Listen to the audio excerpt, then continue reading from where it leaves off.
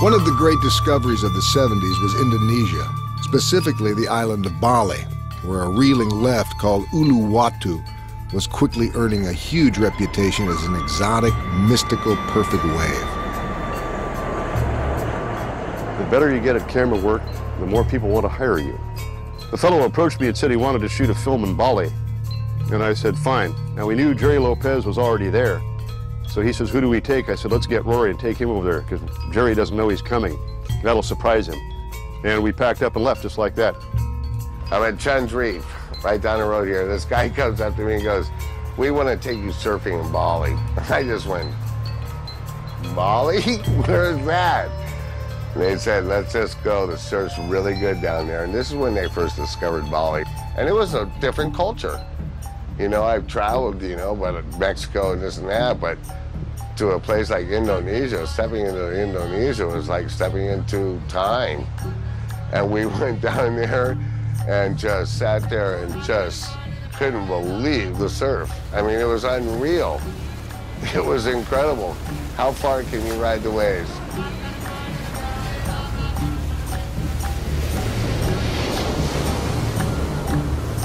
We discovered the biggest candy store for surf that could ever be. And we were completely and utterly just blown away by not only the quality but the consistency of the surf and the lack of people. We had enough surf in three weeks to do the whole thing. It was, it was that consistent. It was just all the time and not crowded. Most of the time it was just Rory and Gerry in the water. And we had plenty of uh, high cliff vantage points to shoot from, which is my favorite angle.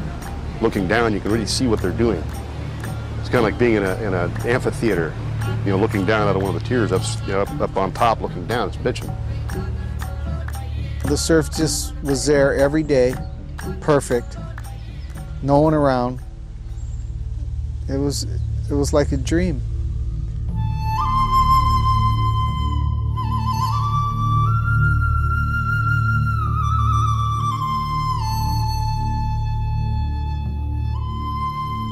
About the time that Spider went over there to film Gerry and Rory, Uluwatu was the wave that blew everyone's mind.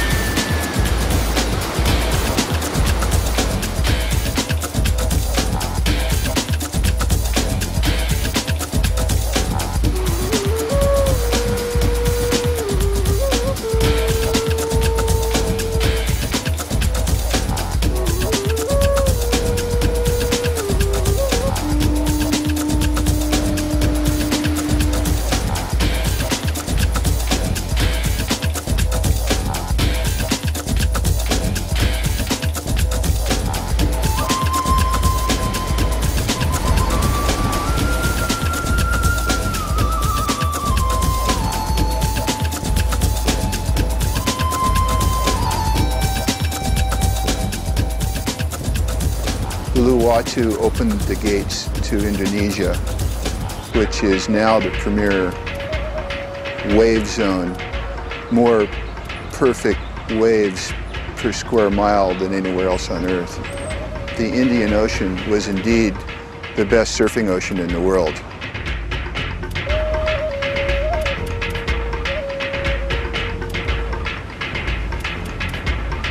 In the mid 70s, Lopez and Russell were uh, state of the art.